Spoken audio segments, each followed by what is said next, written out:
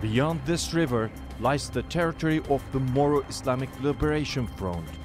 These Moro fighters are taking us to their stronghold, known to the locals as Camp Bedr.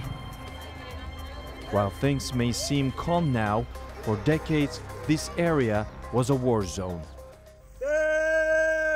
Having fought off every foreign invader since the days of Spanish colonial rule, the Moros have built a feared reputation of resisting outsiders. That even applied to the authorities in Manila, a thousand kilometers away. After five decades of fighting and more than a hundred thousand dead, the Philippine government is looking not to repeat past mistakes. And after a series of peace talks and a recent landmark referendum, the process of establishing an autonomous region called Bangsamoro is gaining steam.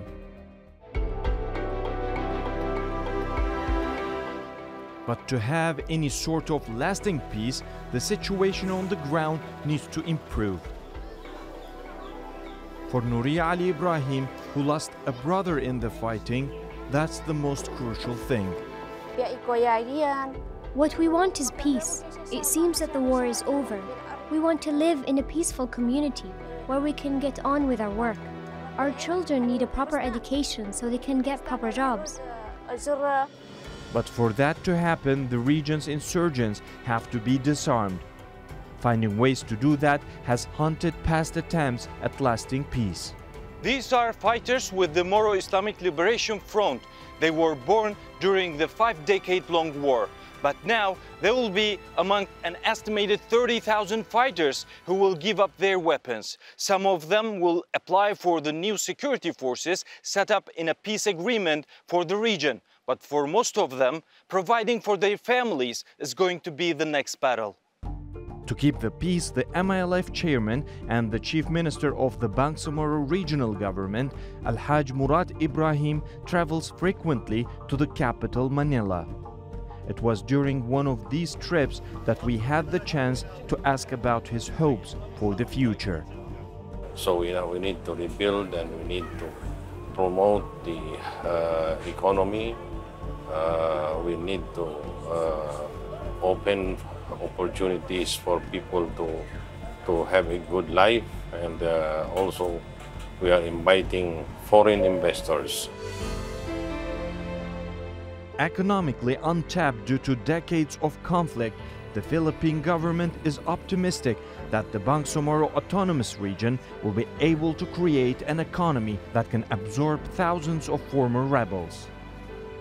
Agriculture and tourism are sectors high on the list for local officials. Actually, not only farming relying on the developing our income in the Bangsamoro areas. Uh, we, uh, the, the Bangsamoro government, uh, going to develop the fishing uh, activities as source of our income, especially on the uh, tuna and other fish that uh, like shrimp and others uh, very uh, potential in our area and Bangsamoro's tropical beauty could become a new realm for tourism.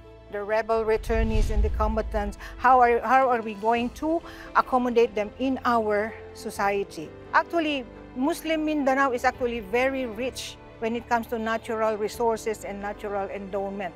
So uh, oh, the only thing that we need to do is really to tap them.